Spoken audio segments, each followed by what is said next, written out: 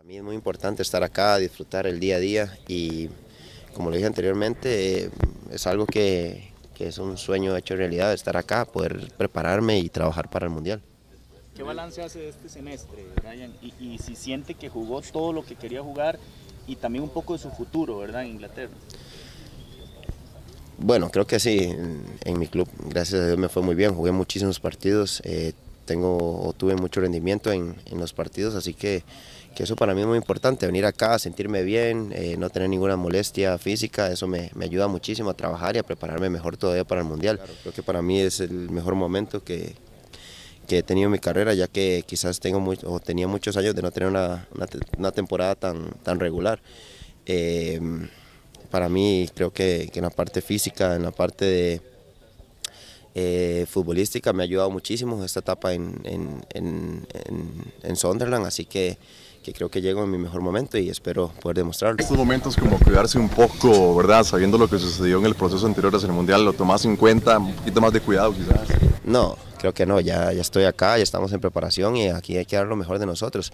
Eh, creo que no vale el, el hecho de cuidarse, porque si, si, te cuidas acá tal vez no llegas al mundial al 100%, lo más importante ahora es entrenar fuerte, eh, hacer los trabajos que tiene el cuerpo técnico para cada uno de nosotros, hacerlos bien y llegar al mundial, eh, Dios primero, al 100% y, y, y volando.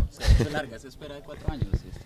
Eh, no, creo que han habido procesos, yo o, con mi familia siempre tratamos de vivir el día a día, han habido cosas difíciles, han habido otras más bonitas, así que, que, creo que el día a día siempre hay que vivirlo. Eh, el hecho de lo que pasó es, eh, fue difícil, pero ya está en el pasado. Ahora lo más importante es que tengo una nueva oportunidad y el estar acá es, es algo que me, que me, hace muy feliz. Creo que ahora todos empezamos de cero, eh, todos estamos en una etapa que el profe Oscar es el que tiene la, la decisión de quién juega y quién no.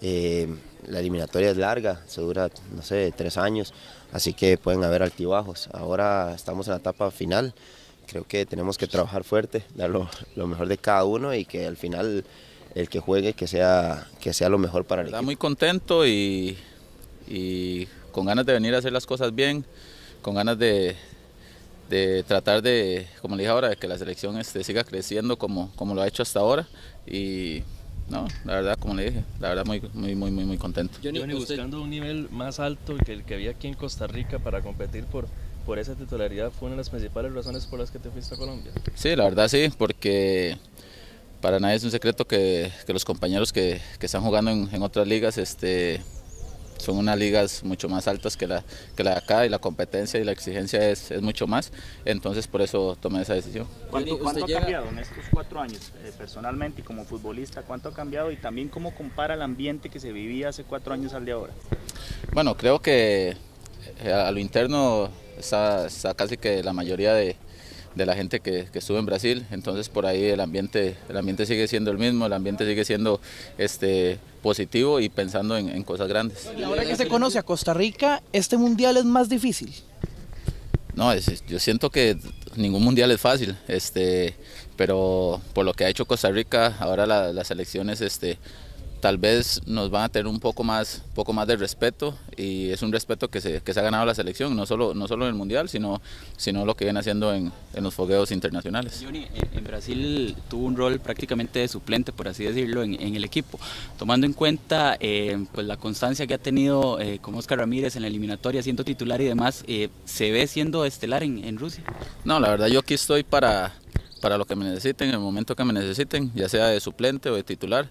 Creo que aquí todos tenemos que venir a aportar este, un granito de arena este, en el momento que, que el profesor sienta que es, que es el indicado.